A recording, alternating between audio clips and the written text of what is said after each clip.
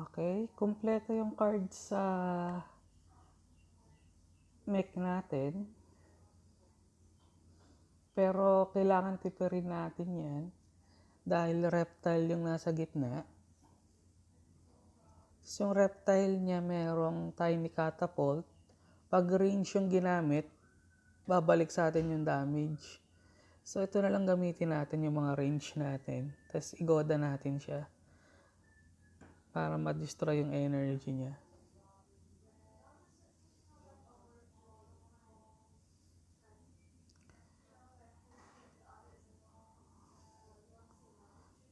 So,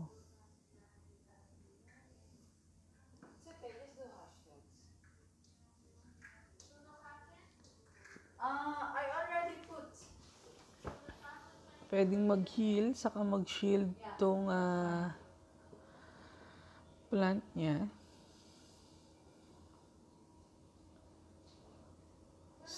Try natin to. Maging aggressive tayo. So, yun nga, mag-heal siya.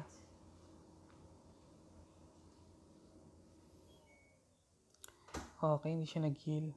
So, wala nang cards tong plant, plant na to.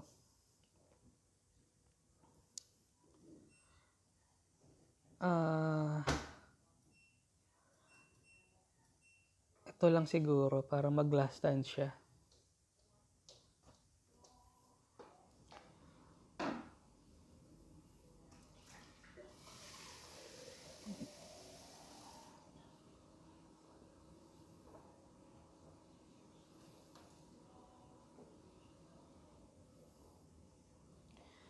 Ah, mag-carrot lang tayo.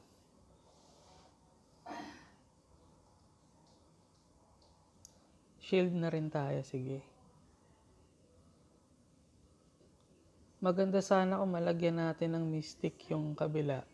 Kaya lang mauuna to eh. So,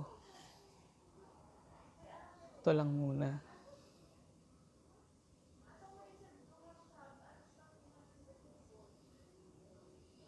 Mhm, hindi siya tumira. Carrot lang ulit.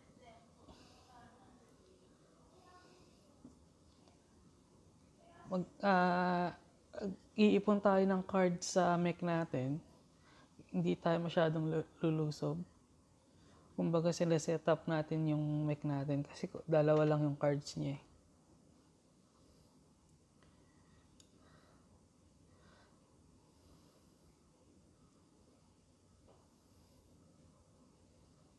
So, meron pa siyang isang sticky glue. Meron pa siyang isang ah, tiny catapult. So, alisin lang natin yung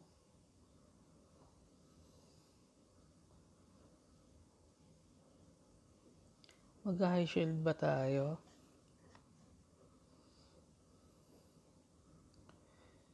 Ah, maganda mag-shield tayo dahil maraming energy to.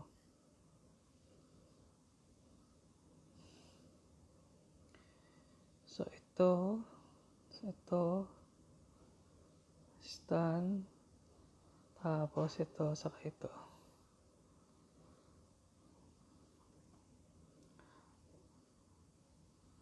So, sakto yata. Maalis natin yung stun. Kasi ito papasok na lahat.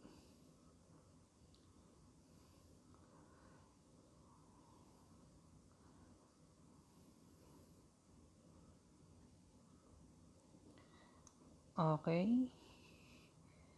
So, bawasan natin tong ah, aqua niya gamit tong mga high shield natin. So, I'll strike. Tapos Dagdagan, sundan natin ng mystic. Tapos, allergic.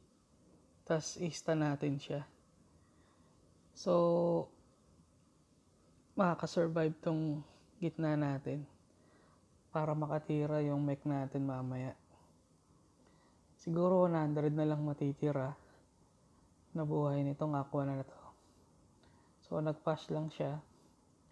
Suko na siya siguro. So, mas nauna pa tayo. So, pag ganyang naka-stand siya, kahit anong shield niya, papasok na yung tira natin.